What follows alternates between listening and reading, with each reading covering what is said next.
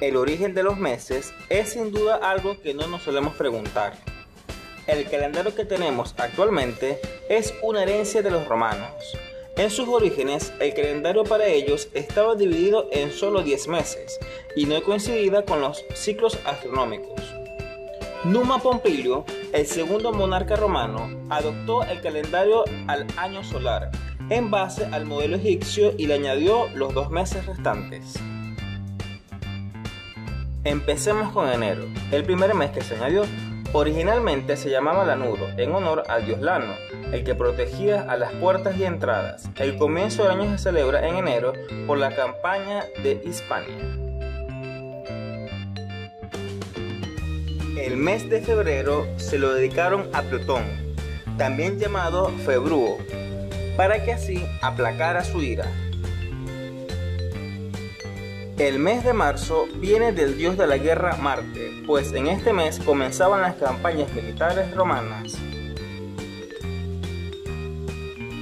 Abril proviene de la palabra griega afros, significando espuma, de la que apareció Venus, dedicándose a la fertilidad. Así que abril es el mes de la fertilidad.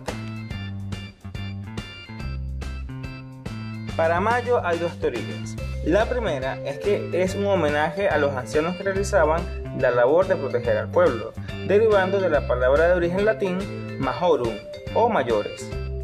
También se dice que se debe a la diosa Maya, la esposa del dios Vulcano.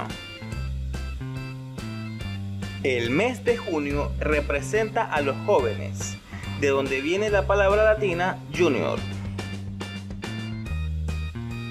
El mes de julio fue cuando nació Julio César, de ahí deriva el nombre de Julio. También en esta época era cuando se hacía la recolección del trigo. El mes de agosto fue homenaje al emperador Augusto, pues eligió dicho mes para que portara su nombre al ser cuando derrotó a Marco Antonio y a Cleopatra.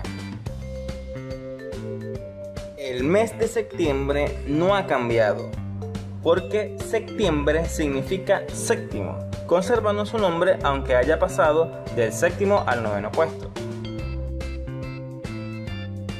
Los meses de octubre, noviembre y diciembre han mantenido sus nombres originales, puesto que octubre viene del latín october, que era el 8, noviembre el 9 y diciembre el décimo.